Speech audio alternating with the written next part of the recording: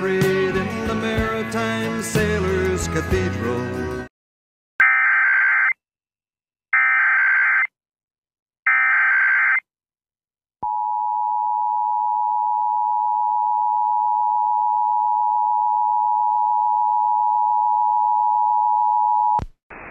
is a North Carolina Amber Alert for a child abduction. The Durham Police Department is searching for Geon King. Geon King is a nine-year-old black male, approximately four feet ten inches tall, weighing 100 pounds. He has brown hair and brown eyes and was last seen wearing a black hoodie and black sweatpants. Aya King is described as a 43-year-old black female, 5 feet 4 inches tall, weighing 140 pounds, with brown hair and brown eyes, wearing gray sweatpants and a black crop top. Her hair was styled in a bun with a ponytail.